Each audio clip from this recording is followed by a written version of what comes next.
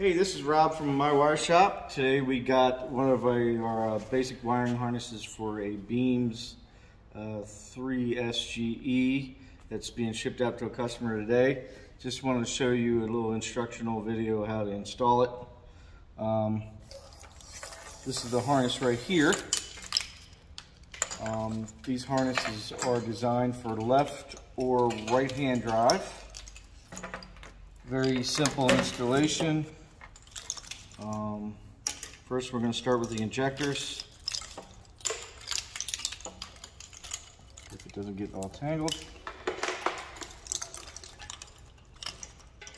Okay.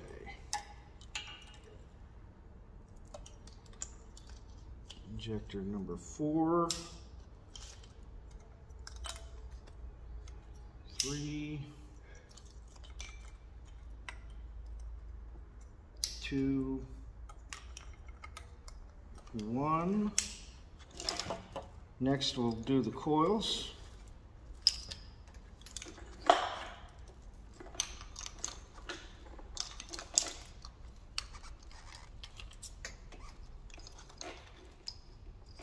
Coil four.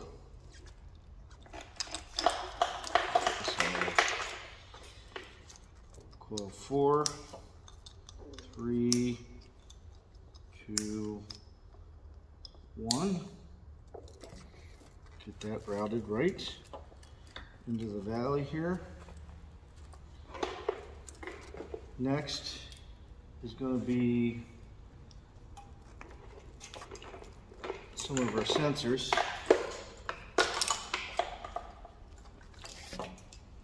Which also goes into this valley in here, so when the cover goes on, it's concealed. So you have the VVTi uh, oil control solenoid right here. This was just mocked up here. This is not the actual one. Intake air temp sensor. Um,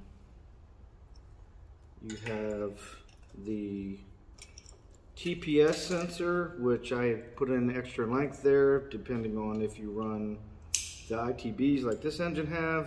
has or you have the actual throttle body.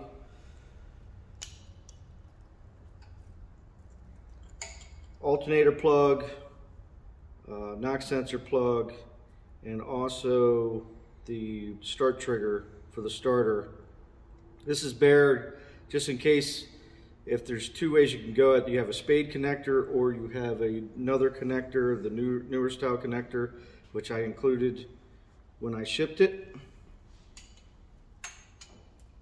So that gets all plugged in there. Knock sensor. This all goes down into the valley like that. This gets down in here, gets concealed. So it's easy to put the cover on. Next is some more sensors. This actually goes underneath.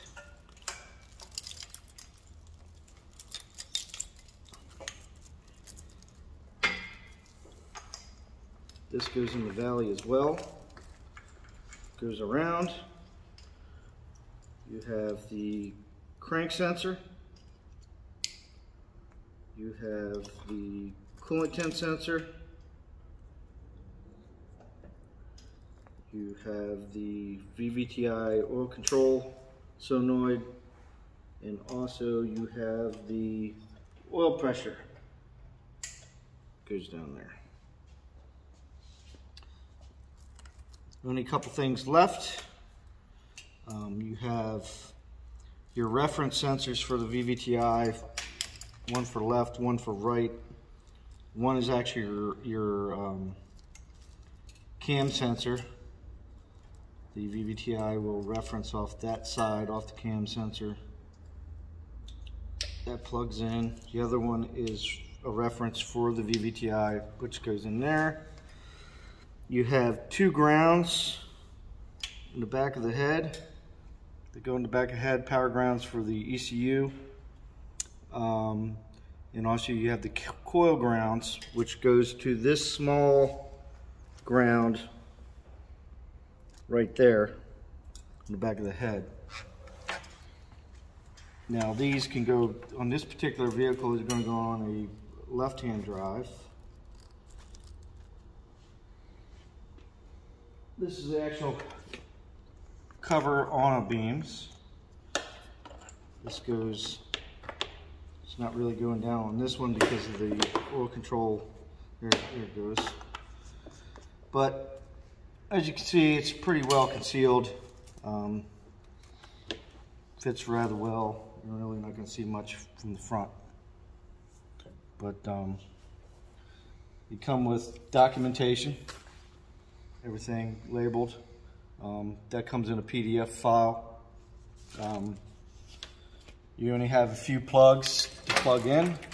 The ECU connector itself.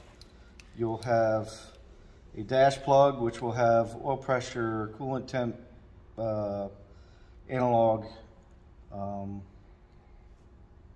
and a tachometer. You'll have a power plug, which will have all your powers for your ejectors and the ECU and the coils.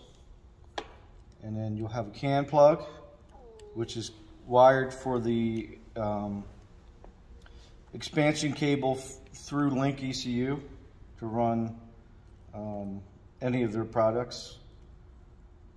And then you have an auxiliary uh, plug which will have fan control, fuel pump control, and also another uh, AN volt for your, your lambda control to put an external um, wideband on there. But that's pretty much it.